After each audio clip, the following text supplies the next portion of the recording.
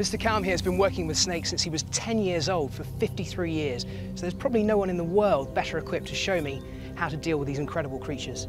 Please?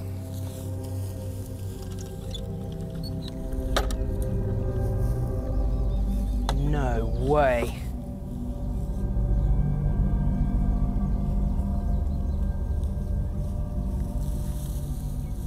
This is a king cobra. At this size, you kind of expect it to be a python, but it's not. It is the largest venomous snake in the world. Even though this is a snake with incredible capabilities, you can see that all it really wants to do is escape from danger. Its first instinct is to flee, to get away.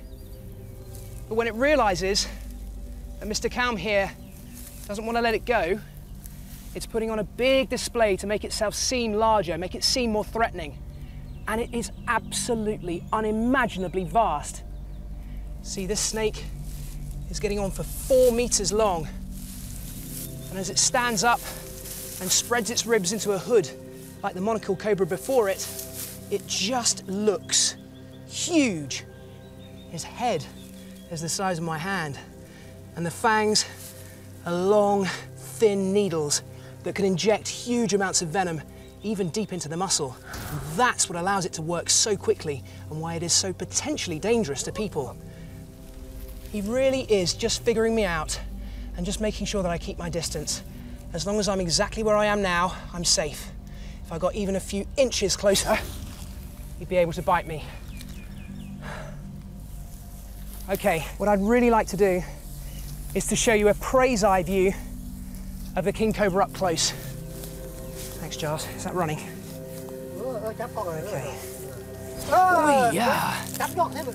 A snake this big can almost stand up and look me in the eye. They can hold a third of their body length off the ground, which means that 18 foot long snake can stand up six feet. That's as tall as me.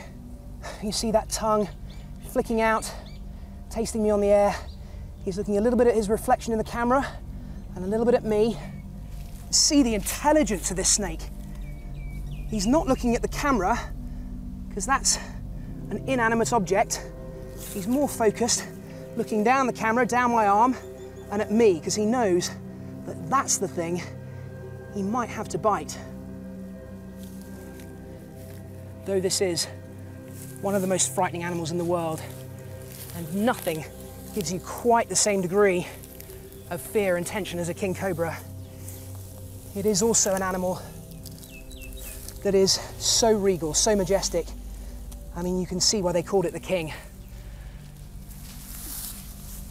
The king cobra, the most magnificent, regal snake in the world. But it's going on my list because it's the ultimate killer of other snakes. Utterly magnificent.